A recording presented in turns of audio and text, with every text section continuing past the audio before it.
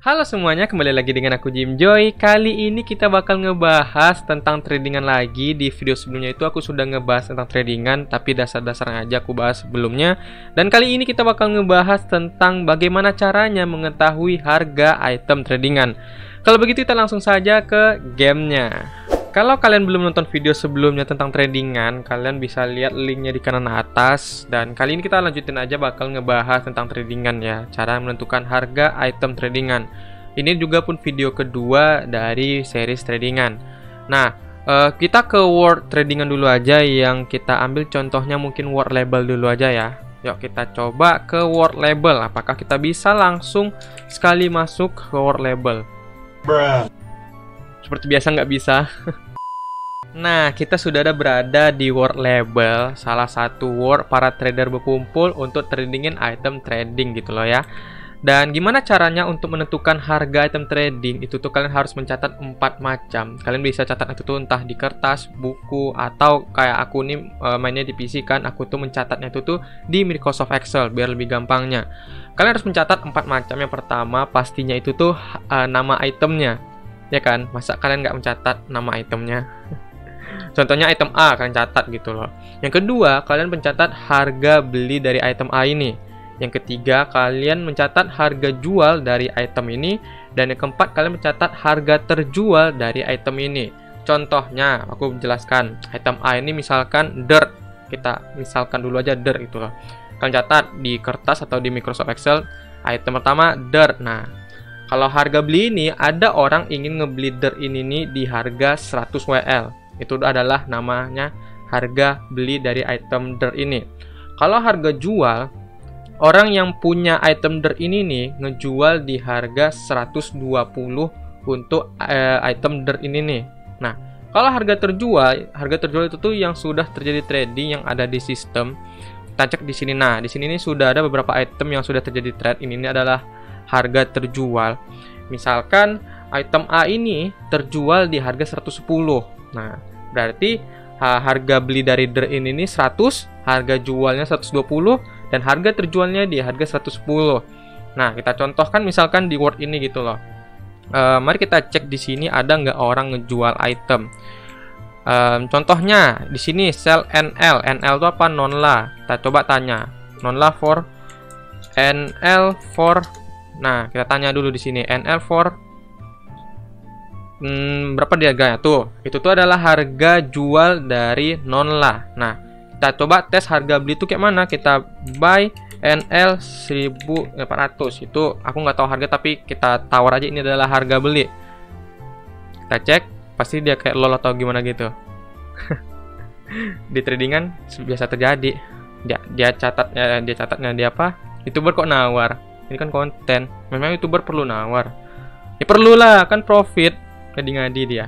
Kenal dia itu sama kita ya.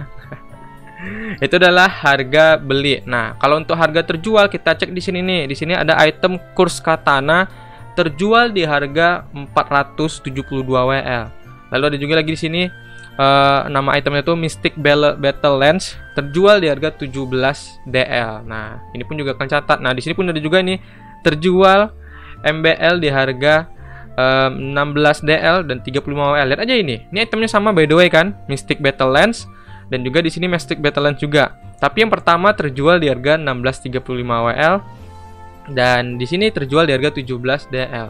Perbedaannya berapa itu? Tuh perbedaannya 65 WL. Berarti udah agak dia ini salah beli atau ada nanti itu kita bakal bahas lagi. Ada nama nama momen apa gitulah ya. Kita bahas di next videonya. Nah, misalkan kalau kalian nanya, kan kita sudah nyatat nih empat macam yang harus kita catat tadi itu. Nah, gimana kita untuk ngetek harga untuk suatu item? Nah, kita contohkan misalkan um, der itu tadi. Der kan tadi aku bilang harga belinya itu 100, harga jualnya itu 120 dan harga terbelinya itu 110. Berarti kita tuh harus ngetek harga itu tuh di antara harga beli dengan harga terjual. Berarti di kisaran harga 100 sampai harga 110. Jadi antara-antara itu kita untuk mengeteknya ya. Dan juga um, untuk harga beli ini bukan kita yang letakin harganya ya. Kita untuk ngecek orang gitu kan. Kita misalkan AFK di sini. Aku lupa jelaskan tadi gitu. Misalnya kita AFK di sini tiba-tiba ada orang nawar ke si doi satu nih kan. Misalkan NL dia beli itu tuh harga 14 nah si harga si yang datang ini, kita nyatat. Bukan kita yang letakin harga gitu loh.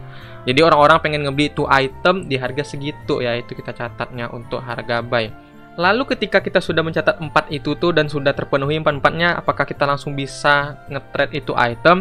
Jawabannya iya dan tidak. Tapi kalau untuk pribadi, kalau misalkan baru catatnya sekali doang gitu loh ya, itu menurut aku jangan. Karena apa? Karena kita baru ngecek sekali harga uh, dari item A ini gitu loh. Dan untuk berani, kalau aku pribadi tuh, kalau untuk aku berani nge-trading item A itu tuh, atau suatu item, itu tuh sudah terjadi banyak yang nawar, banyak yang jual dan juga banyak yang terjadi terjual harganya. Jadinya aku tahu lebih rata-ratanya untuk harga suatu item. Jadi jangan kalian misalkan baru nyatat ini nih um, ini itemnya sudah sekali doang gitu kan. Nah langsung kalian terjun ke item itu jangan ya. Karena itu agak sedikit greedy ya kalau kalian mau lakukan kayak gitu tuh. Dan juga um, aku juga lupa jelasinnya juga tadi tuh uh, berapa lama sih yang harus kita lakuin gini ya hal yang tadi tuh nyatat-nyatat ini nih uh, untukku pribadi pun juga ya aku tuh mencatatnya kayak gini nih selama tiga hari. Jadi selama tiga hari itu kita nggak ada tradingan maksudnya nggak ada beli item dan jual beli item. Tapi kita tuh cuma AFK di Word yang sudah aku jelaskan di video sebelumnya di Word Sheets label dan juga by GHC tapi ini kita contohnya di Word label dulu aja nih ya di Word label nah aku AFK selama tiga hari di Word ini nih sambil mencatat gitu loh. Kita, kita lihat di sini ada yang sel EP misalkan di sini EP 2520 kita catat. Ternyata harga jual EP itu tuh EP itu apa? Emerald Pickaxe. Harga jualnya itu tuh di harga 2550 25 berarti itu 2520 nah kita catat.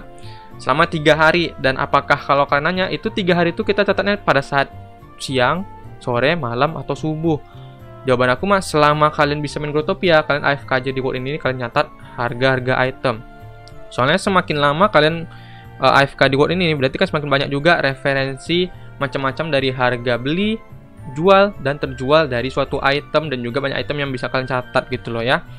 Jadinya semakin lama kalian AFK, semakin lama kalian catat itu semakin lebih bagus dan juga semakin lebih pede untuk ngemainin item tradingannya gitu.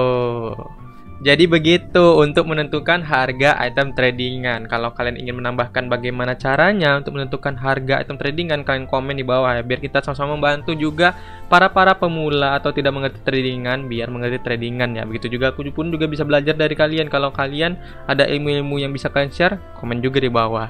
Dan juga di video sebelumnya itu tuh ada yang komen gitu loh ya.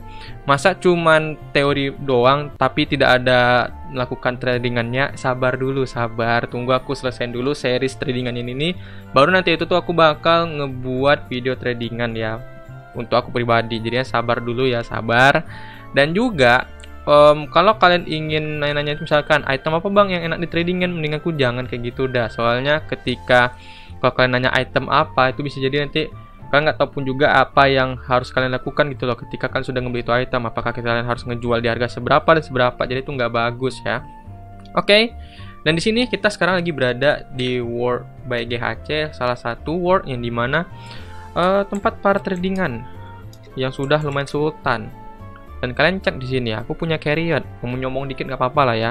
Ya nggak sih Oke, okay, kalau begitu sampai sini aja videonya. Jika kalian suka dengan videonya, tekan tombol like dan jangan lupa kalian share teman-teman kalian. Kalau teman kalian ingin belajar tradingan atau nggak ngerti tradingan, suruh nonton video ini biar sama-sama kita mengerti tentang tradingan gitu loh ya. Dan secara secara nonton di YouTube gitu maksudnya. Oke, okay, kalau begitu see you in the next video. Bye bye.